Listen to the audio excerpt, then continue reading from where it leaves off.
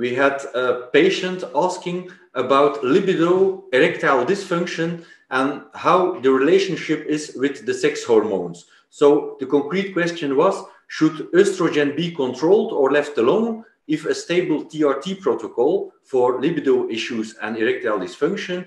And the other question from the same patient was, should free T be in the upper range or above range or mid range for optimal libido and erectile dysfunction? So in short, relationship between libido, erectile dysfunction and the sex hormones. This is the TRT and Hormone Optimization YouTube channel. And if you want to learn all about the science based information on this topic, consider subscribing, hit that notification bell, and you'll be on your way. Well, that's a multi million dollar question. And I wish I had, you know, a concrete answer to that given my experiences. Um, but we all know, well, most of us do, that an erection or erectile function is a multifactorial phenomenon or physiological uh, function, multifactorial. It'd be nice to know that there's a linear correlation between testosterone, whether it be free or total, and libido and erectile function, but it's not. First of all, we all we all know that little babies and children, boys, you know, pre prepubescent, get erections all the time, and the testosterone are in the dirt. I mean, virtually non-existent. You know my point. Very, very uh, uh, non-existent. Um, and I've seen, you know, men come in with testosterone's uh, free, uh, not free, total, um, in a in a normal range, free testosterone in the low normal range, even mid normal range. We'll discuss that here shortly. Uh, who have significant erectile dysfunction. And I've seen people come in with very low uh, total and free testosterone with you know, raging libidos and no problems whatsoever with their erectile function. So it's it's all over the place, all over the board in, in my in my experience.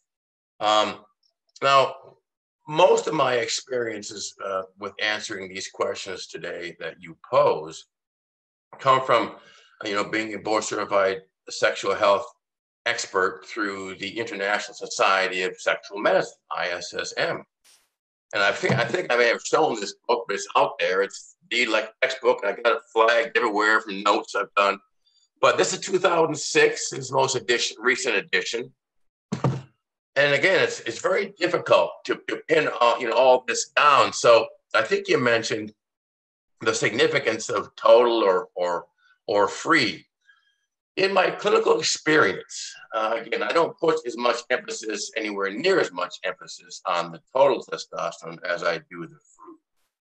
So, according to the uh, American Academy of Anti-Aging Medicine, um, attended a lecture last year, and one of their uh, experts came and gave a talk, and it was a female, a female OBGYN that's also uh, quite knowledgeable in, in sexual health she mentioned that her ideal um, free testosterone was 180 to 300 picograms per ml. So does that equate to? Uh, 18 to 30 nanograms per deciliter. So, and so I, I shoot for that minimum if I can optimize it. But again, I'm treating men, not lab values. I just find that I have to get the free testosterone more to the levels of, and probably a third of my cases uh, above, you know, 30 nanograms per deciliter. I probably got to get to 35, 40, 45. So again, I, I take it as high as I can uh, within reason to get the man functional. So back to your uh, original uh, question regarding ideal ranges, and do they correlate linearly with with uh, libido? They they tend to correlate with free testosterone, uh, but again, I treat a lot of men that come to my office who have great free testosterones and they have erectile dysfunction. Uh, and again, I have guys come in with basement that, you know, in the in the gutter free testosterone, and they have no problem with libido erectile function. So there's a there's a lot of dynamics, especially social, uh, uh, psychosocial, cultural, relationship differences, stressors, life stressors that go into in desire and performance or erectile function. And you know, there's a book out, uh, the Male Sexual Health Guide by Dr. Dudley Danoff, MD. It's a very good book. Again, The Ultimate Guide to Male Sexual Health. It came out five years ago. A great read. I don't agree with, uh, he, he's a urologist. I don't agree with his, uh, his guidelines for serum levels. He doesn't like treating men if their total testosterone is above, is at 400 or greater. He doesn't mention free testosterone. So another urologist that just says, oh, don't go, don't treat them if they're at 400 or greater.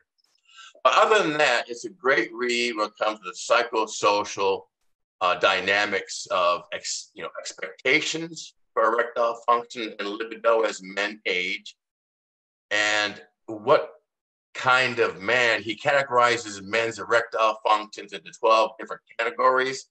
So it's a great read. It's a short read, a couple, maybe maybe uh, 220 pages long. It's easy to understand. I highly recommend it uh, for, for men that want to figure out which category of men they're in when it comes to libido and sexual function and, and uh, expectation, especially when it comes to marital uh, harmony or marital discord. All right, so I think I, I've, I've answered the question. I wish I could, you know, give you concrete evidence, but in my, you know, treating 5,000 men and 40 years in business, um, I do find, in summary, that uh, there is a correlation, but it's not a perfect correlation, uh, between free testosterone and men's libido and sexual function. But it's just so complicated, you know, men's sexual performance that that is there's more to it than just serum levels as the patient himself suggested, uh, estrogen should be left alone, I guess.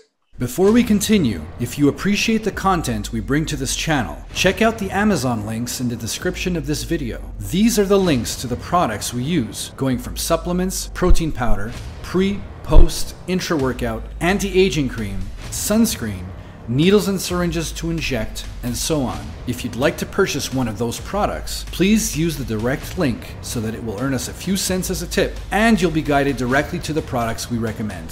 Thanks in advance. All links should work on the US, Canadian, and UK Amazon stores. Yeah, good point. Uh, you know, back in the day when I first got into this business, there was the bro scientists and the, the, the guys in the gym were, you know, especially uh, life extension you know, they they were big on saying keeping, you know, the estrogen, I believe, uh, E2 between 20 and 30. And we all know now that estrogen acts like a paracrine endocrine hormone, and the serum levels don't really tell us much. So I like to get the estrogen levels uh, originally, uh, mainly because I like to show men that it's way too low to be cardioprotective and, and for bone health. And then after that, I, I don't really need to get it. A lot of my men in particular demand that I follow their estrogens because they're still hung up on the estrogen. But again, I will get it mainly to show men that it's too low. And I get it also to, to prove to myself and them that as the testosterone is coming up with my testosterone therapy, that so too should the level of estrogen come up with it and you know in harmony. And um, I don't believe, as we all know now, uh, in AIs, I imagine I manage estrogen fluctuations with dose and dosing protocols, uh, given IM dosing, given sub-Q dosing, and given transdermal dosing. I can manage estrogen that way. But again, are we really how important it is to manage estrogen. So many men focus on that estrogen, and it's still an old bro science that I'd like to stay away from. But I do get it, I do watch it, just to make sure that it is indeed coming up in relationship to my total testosterone. Okay, that's clear. Thank you, Jeffrey. You're welcome. Alright guys, well do this next, click on one of these thumbnails to learn a ton more about TRT and hormone optimization. Thanks.